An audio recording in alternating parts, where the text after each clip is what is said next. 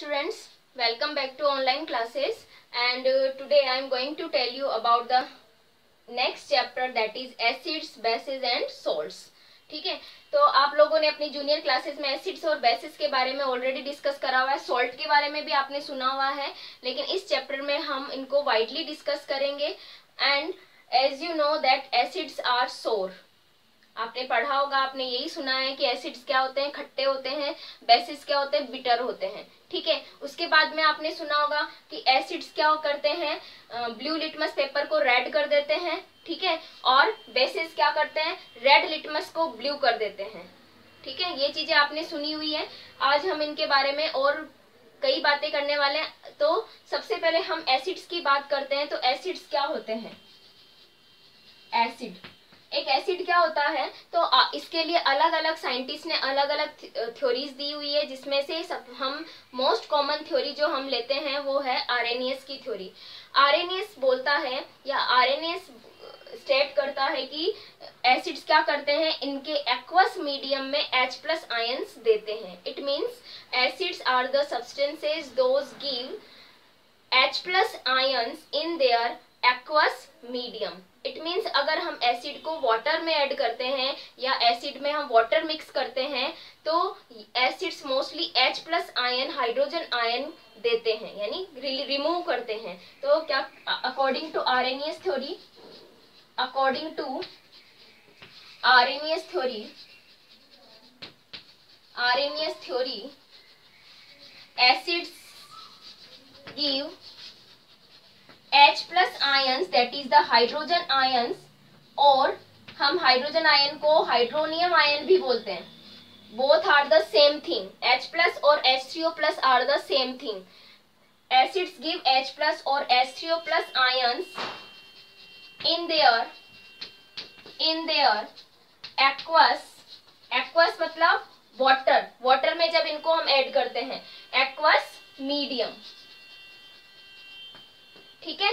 तो H plus देते हैं। किस तरीके से हम बात करेंगे? जैसे हम एक एसिड का एग्ज़ाम्पल लेते हैं। फॉर एग्ज़ाम्पल हमने HCl लिया। जैसे ही हम HCl में वाटर ऐड करते हैं, यानी हम इसका एक्वस मीडियम बनाते हैं।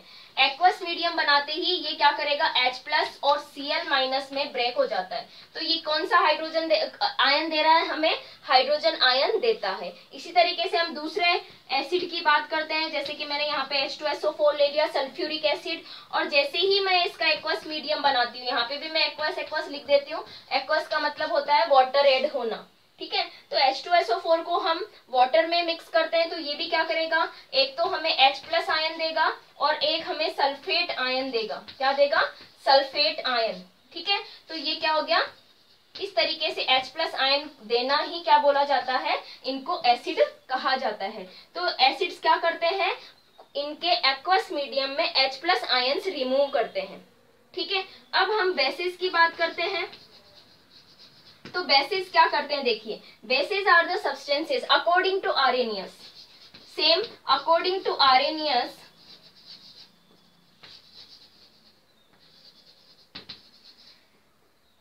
bases give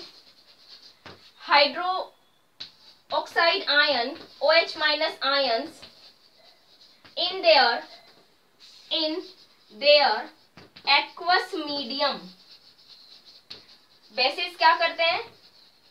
हाइड्रोक्साइड आयन देते हैं ओ एच माइनस आयंस देते हैं उनके एक्वस मीडियम में। फॉर एग्ज़ाम्पल जैसे कि हम बेस की बात करें तो बेस ले लेते हैं हम NaOH जैसे ही हम NaOH में वाटर ऐड करते हैं, ठीक है? ये यहाँ तो क्या होगा? ये Na plus plus O H minus में ब्रेक हो जाएगा इस तरीके से। NaOH क्या हो जाएगा? सोडियम और OH माइनस में ब्रेक हो जाएगा। तो ये क्या कर रहे हैं अपने एक्वस मीडियम में क्या दे रहे हैं? ओ एच माइनस आयन दे रहे हैं। ठीक है? एक और एग्ज़ाम्पल ले लेते हैं हम के ओ एच का। तो ये भी क्या करेगा? जैसे ही इसमें हम वाटर ऐड करेंगे तो ये भी के प्लस और ओ एच माइनस आयन में ब्रेक हो जाएगा और हाइड्रोक्साइड आयन ये देते हैं, इसीलिए इनको हम बेसिस बोलते हैं। तो एसिड और बेसिस को आरएनएस थ्योरी के अकॉर्डिंग इस तरीके से हम डिफाइन कर सकते हैं? Acids are the substances those give H plus ions in their aqueous medium, but bases are the, bases give ion in their aqueous medium ठीक है? तो एक जनरल इंट्रोडक्शन था। नेक्स्ट हम बात करते हैं सॉल्ट के बारे में थोड़ा सा। तो सॉल्ट्स क्या होते हैं? और आपने अपनी जूनियर क्लासेस में पढ़ा है कि by the reaction of neutralization neutralization reaction किसके बीच में होती है?